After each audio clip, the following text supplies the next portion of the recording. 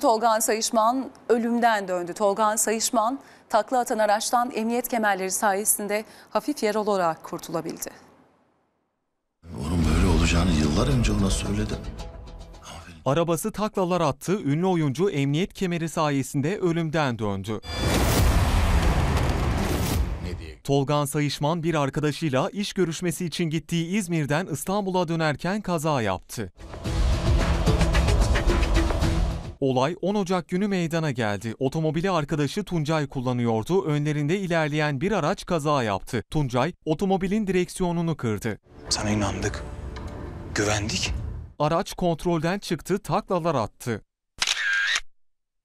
Kazadan Sayışmanlı arkadaşı emniyet kemerlerinin takılı olması ve hava yastıklarının açılması sayesinde hafif sıyrıklarla kurtuldu. Sizi eve götüreceğim. İkili çevredekilerin yardımıyla hemen hastaneye kaldırıldı. İlk müdahalenin ardından taburcu edilen oyuncu ve arkadaşının sağlık durumlarının iyi olduğu öğrenildi.